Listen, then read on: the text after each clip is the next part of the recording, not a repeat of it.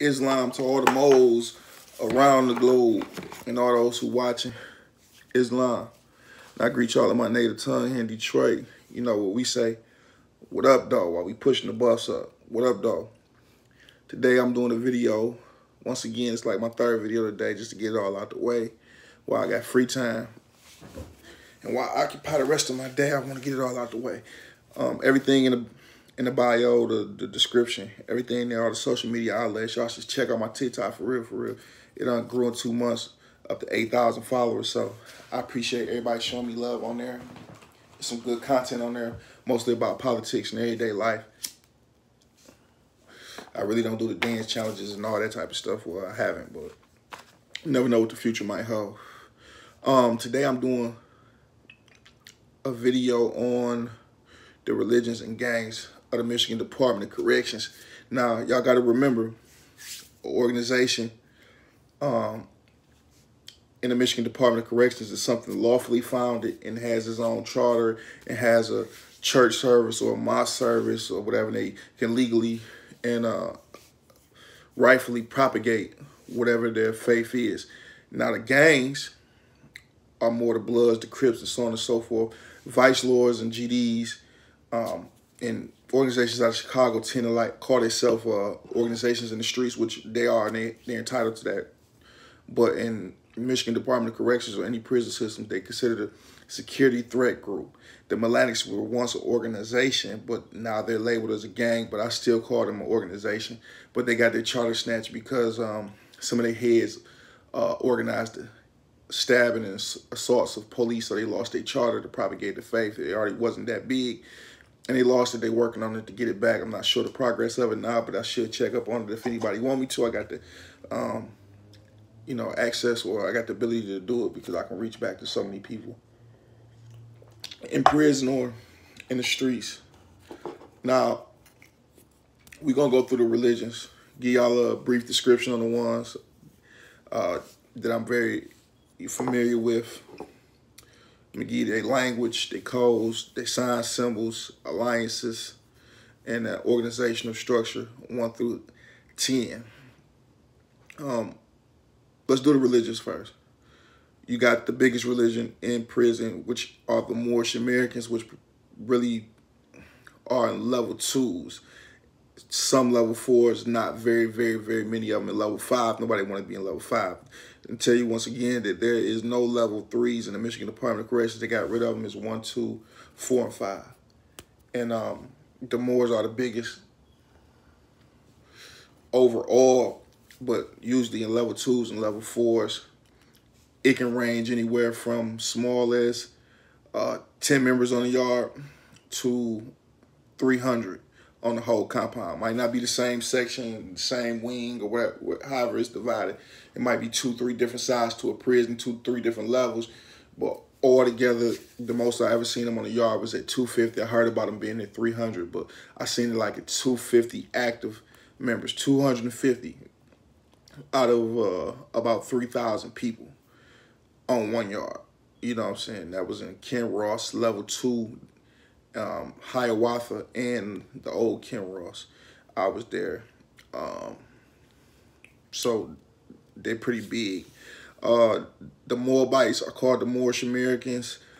Um, they usually have a bay or eel on the back of their name. Matter of fact, all of them do. Sometimes you might get an Ali every now and then, but that takes a whole lot of work to get and obtain.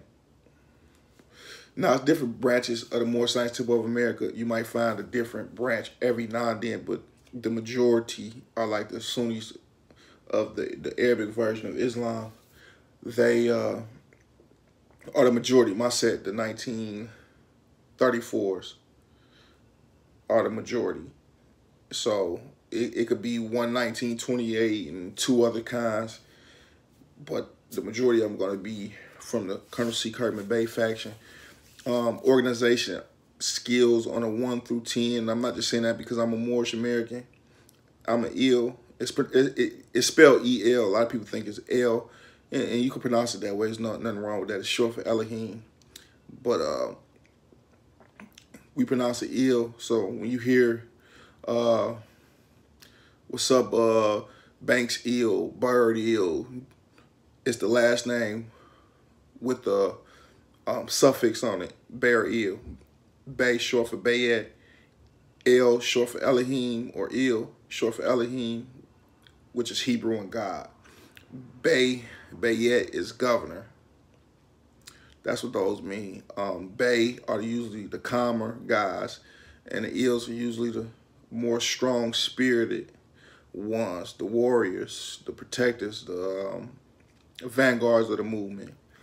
Um, I get an organization a skill because how big we are, how we keep count and tabs on every gang member, the numbers, um, the weapons hid on the yard.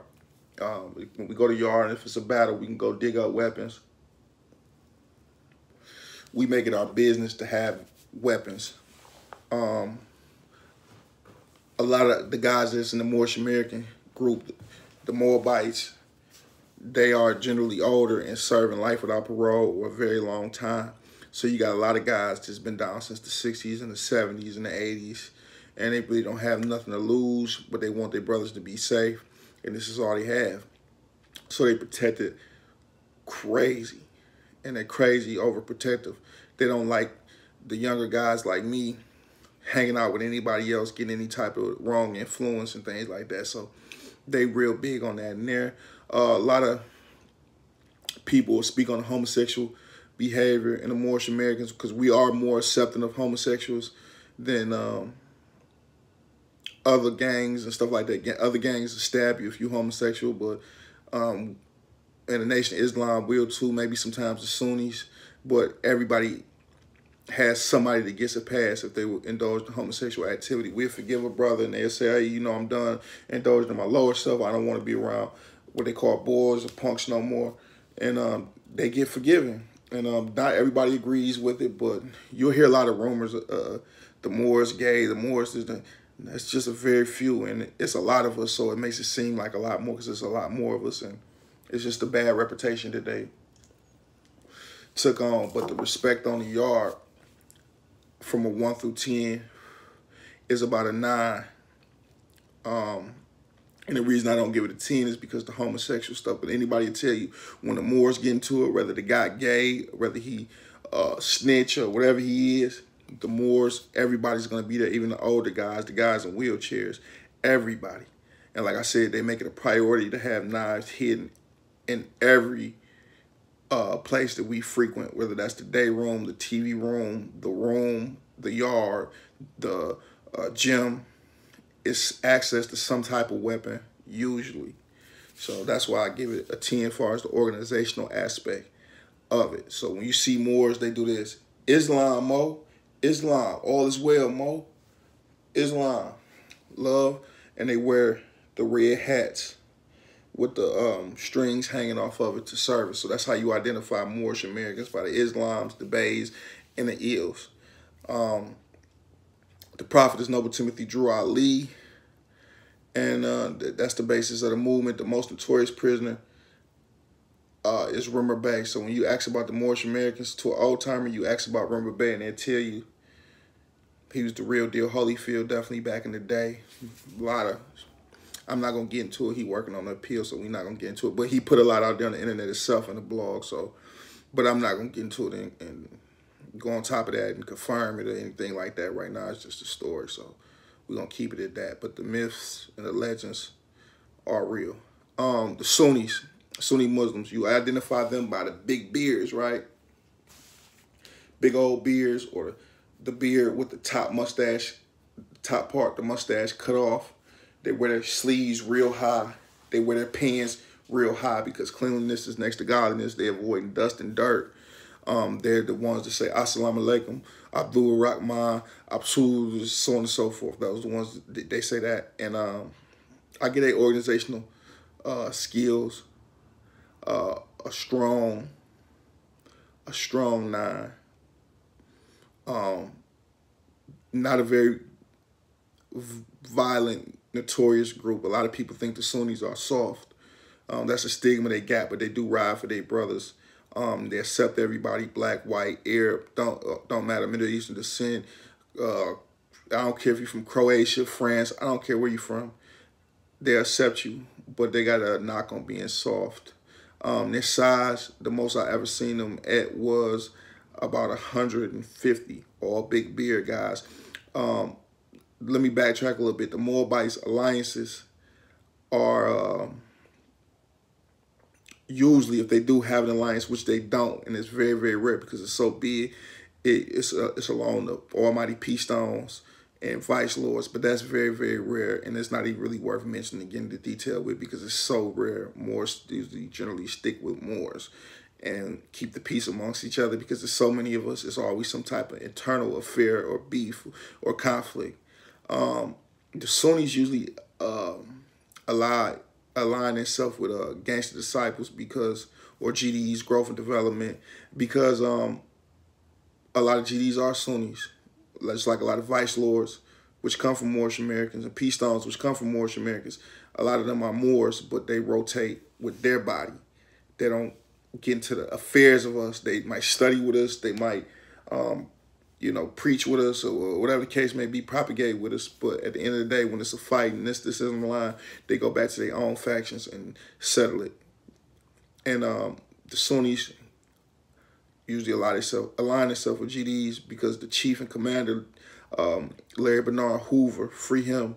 He uh, is a devout Sunni from what I hear, so that's where that correlation comes in. At they they use when they do having alliances with the GDs, but that's very rare too. Uh, they don't have many symbols outside the star and crescent, the big beards and stuff like that. That's how you identify those guys. And I told you the language is Assalamu alaikum, Abdul Rahman, and so on and so forth. And uh, like I said, it's strong now on the organization aspect. It's just not a very aggressive group, which ain't nothing wrong with that.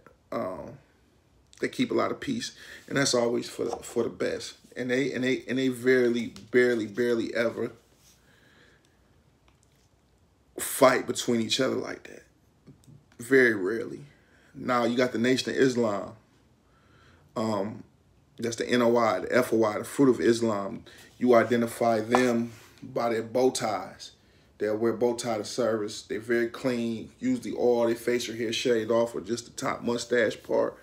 Um, they follow the teachings of the Honorable uh, Elijah Muhammad, which uh, his successor was the Honorable Minister Louis Farrakhan and Wallace Dean Fard Muhammad, Master Wallace Dean Fard Muhammad started it all. And he gave it to, he was God in person, and he gave it to the messenger Elijah Muhammad, which gave it to the Honorable Minister Louis Farrakhan. And um, we'll see who su succeeds him. But um, they, uh, their organizational aspect is a 10 they very, rare, very rarely feud amongst each other. Very, very, very rarely. I've never really seen it. Maybe just a little bit of gossip here and there or get mad at a brother. But they very rarely ever beef amongst each other. So they get a team on the or, organizational aspect. Um, their size, the most I've seen on the yard of those guys were about 70.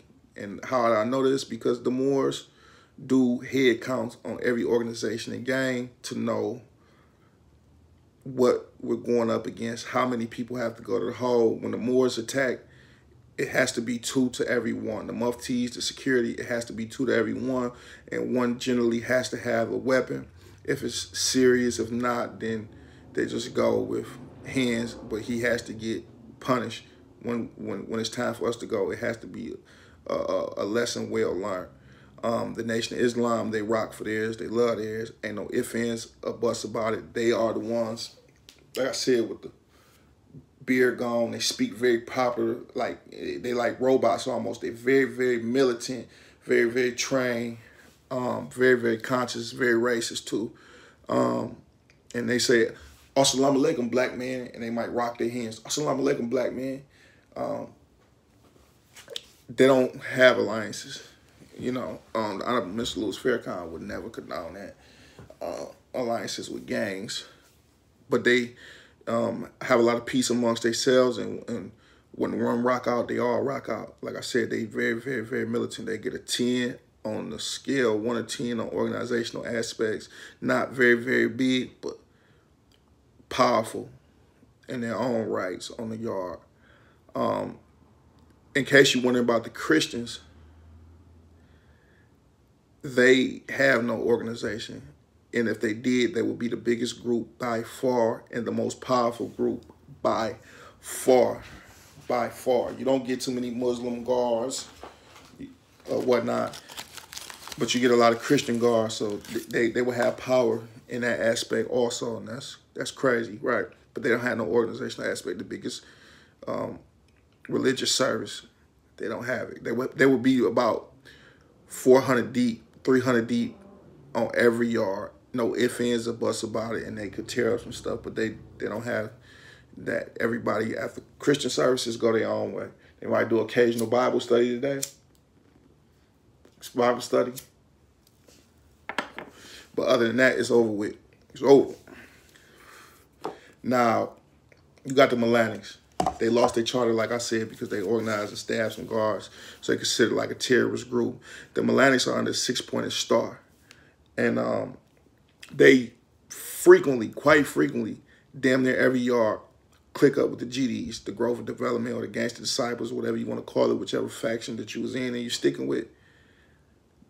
That's who they um, roll with. They're the six-pointed star. They also... Uh, refer to or, or greet each other, they'll say, uh, Asi Salat. And then the response will be Masalam. Asi Salat. Response, Masalam. Um, organizational aspect. They definitely, definitely would get a 10 because they're very, very organized. The most I ever seen on the yard of them was about 40. Um, and they click up the GDs well and they, they, they get very, very busy. Trust me, they, the Milani guys get very, very busy. Very busy. And um, I forgot to say that, like the Nation of Islam, they usually like Mike X, Dre X, Tremaine X, but the Melanics go by X's too, but they have nicknames: Smoke X, Cedar Block X, Blood X, Killer X, so on and so forth. But they very, very, very organized. Uh, so shout out to Melanics. I see a lot, man. Um, now, let's get into the gangs. We're to start off with the Bloods. Very, very, very, very big, big gang. It caught on like wildfire. In the Michigan Department of Corrections, there's a different blood set every day. There's so many sets to a set. And I'm, I'm about to name a few for you, right? You got 82 Bloods, which is a renegade set. It wasn't sanctioned by guys in California whatnot. They just started their own thing, did their own thing. And they wear their flag to the right uh, excuse me, where they flag to the left instead of the right. Um, they took on vice lord principles. Some of them, um, they, they, just the biggest set of bloods in Michigan Department of Corrections, and maybe some of the most vicious. A lot of them come from Detroit, but you got the 82 Bloods. That's the headbangers. You got 8213 Bloods, which is a set from them. You got the Sex Money Murder Bloods, which is an East Coast set. You got um, G Shine, Midwest set. You got uh, Wolfgang Moneybagg Piru. You got the regular Moneybagg Piru. Uh, you got Seven Mile Bloods. Um, Money Power Respect Bloods. Rolling 20 Bloods. Denver Lane Bloods. You got, uh, that's 10 right there. You got um, Fruit Town Piru, Cedar Block Piru, Queen Street Piru, uh, Crowns Park Piru, Elm Street Piru. That's 15 sets. At least 15 sets right there. I can name off Bill without really struggling to name them. When I tell you it could be 20 blood Piru Assassin, 5-5 dude, or 6'6 deuce. You can keep going on and on and on and on. So with them spiraling out of control like that and hip hop taking off and Lil Wayne in the game making it cool, it made a lot of blood sets and a lot of people bloods. So they always have internal conflict. The biggest stabbers and assault assailants of bloods are other bloods. No ifs, ands, or buts about it. It's like the Crips in, in California, except the bloods here are the true sea rabs and the bucket crabs. They pull each other down. Um, like I said, a whole lot of internal affairs. Ain't no ifs, ands, or buts about it. Every day is something with them guys. But on an organizational aspect, out of 10, 1 through 10, I get them about a 4. Uh, they try, and they fairly new gang, very violent. Access to knives and stuff like that is not is not always at the tip of their hand because they don't organize. They don't count people when they come to the yard. You know what I'm saying? They don't try to see where the stash spots of weapons are at. But they big, they very respected, they young, they wild, they violent. So people don't try bloods like that. You know what I'm saying? And the bloods roll over smaller group and tend to make peace with the bigger groups. Um, and really, only people that could really challenge bloods head up is probably the GD Melanic connection and the Moorish Americans. The only people that probably can crush that fire on a yard at any given time. But level five, they got it. Level four, they got it. All, all those guys are generally in the higher levels because, like I said, they're young, they wild, they crazy. They say, what's up, blood? They don't like the word slob. They like, what up, blood? What's big and back, booling by the bull? Hey, can I get that Bacla bit bookie on a, that's a chocolate chip cookie. Can I get that Bacla bit bookie on a, on a plate tonight? Them guys is crazy out their mind, right? They say 212 and the response will be 204. Blood Love, 212. And uh, their main enemies are the Crips. The religious organizations don't have no main enemies like that, except probably the Melanics, and they usually get into it with the Lords and the Bloods. But it can be conflict amongst anybody. It could be Melanic, uh, Moors, Sunnis, Melanics, Sunnis, Nation of Islam. Conflict can arise between any groups, but generally the Bloods um, go at it with Crips, which Crips are not really prevalent on the yard at all and don't get no respect when they are. And um, they don't even compete with the, the, the, Bloods. They usually flip over or don't claim it because they scared. I don't see Bloods go to guys and be like, dog, you better tighten that shit up. We don't want to hear this, this, and that. But I'll do a video on that too because a lot of people intrigued by the Bloods. Uh, so I ain't going to get too deep off into it. Like I said, they don't like the word slob. They symbols are usually five-point stars, four-pointed stars, three-pointed crowns. Um, their alliances usually are with the vice lords. Usually with the vice lords, maybe sometimes the Latin counts. Sometimes the Latin counts king connection. Um, Crips, I ain't gonna get into too much detail about that. They really ain't around, but they say cuz, they disrespect word is crab. Um, they they generally try to wear something blue like a, a wristband or whatever. Um, alliances usually with GDs if they are able to establish an alliance, but people don't want those problems with the Bloods like that, and they feel like the Crips be trying to hide behind them. So um, I ain't gonna get into too much about that. They don't have no organization or, or nothing. Uh, the Vice Lords usually click up with the Bloods. The Vice Lords, VL, they don't like the word Vicky Lou and Hooks or referring to the police as 12 because that's one of their numbers. So um, the vice lords usually click with the bloods, maybe sometimes the Moors, very, very rarely, maybe in the higher levels where it ain't many of them, but in the lower levels it's usually with the bloods or very, very often it's the kings, the counts all together with the vice lords and maybe clicked up the cash flows too. So they all ride under the five or four pointed diamonds. And um, they say all is well all the time. Uh, shake up with the V's. They pitchforks go down. You can identify them by tattoos of the Playboy bunny on them. Um, five star crescent with the bunny ears behind it. And they palms up, Almighty. They say all they say Almighty or Mighty, and guy say Mighty back, throw his palms up. So th that's the uh, vice lords, and uh, as far as the organizational aspect, I would say they're about seven. A lot of those guys are becoming younger and younger, and it's getting a little bit more and more wild. And then they teamed up with the Blood, so it's becoming more and more wild. So they get about a seven on there. The most I ever seen them on the yard was probably about 50 deep. I think it was like 50 deep. GDs, growth and development, you identify them. Um, they say uh, 410 and you respond 412. 410 is plenty much love. 412 is never too much. Never too much love. So you identify them by six pointed crowns. Six, excuse me, six, yeah, six, three pointed crowns or six pointed crowns and six pointed stars on their body. And they shake up with the pitchforks. They pitchforks go up. They disrespectful word is uh, glazed donuts, bricks. Um, even though those are not real diss words, people still get offended over snowflakes. Um, because the snowflake come down and it's got six points on it. Uh, their organizational skills though are exceptional, especially for them being so young. A lot of them being young, they got a lot of older guys too, but them for them being so young, they get a strong eight for sure, for sure. And they something to be reckoned with. They ain't nothing to be played with at all. They're not like the Crips or none of that. They usually get into it with the Bloods um, because GDs tend to be more mature young guys, and Bloods tend to be more of older young crowd, uh, excuse me, an older crowd.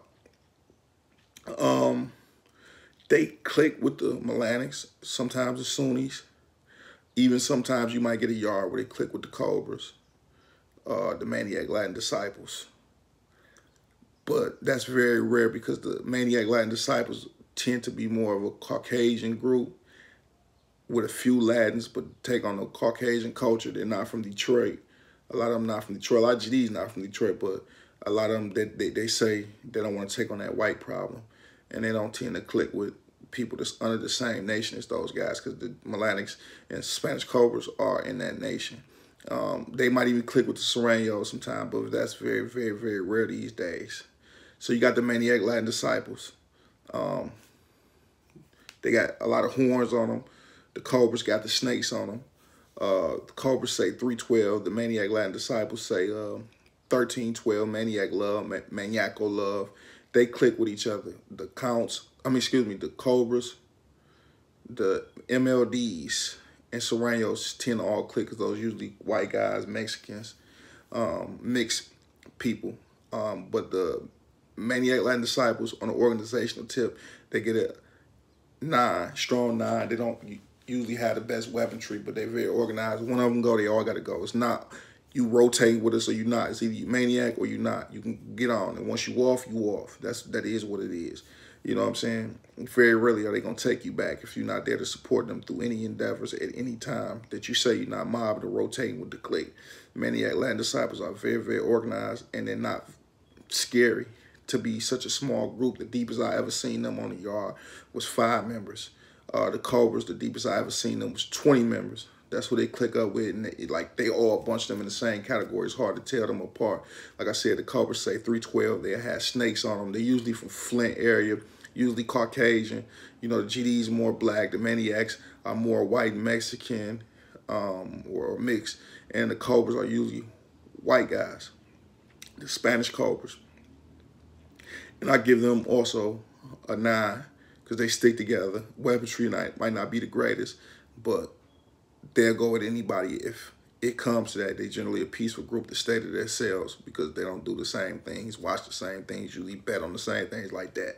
So if they usually do get into it with somebody, it's the Bloods. Usually, it's usually the Bloods. The Bloods is a common denominator in a lot of this, right?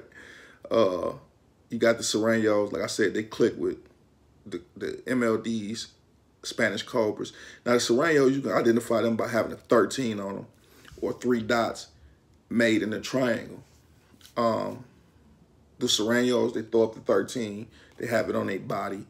Um, they click with the Mexican Mafia, which they very, very rare in MDOC also. But they, like I said, they click with the Cobras and the Maniacs.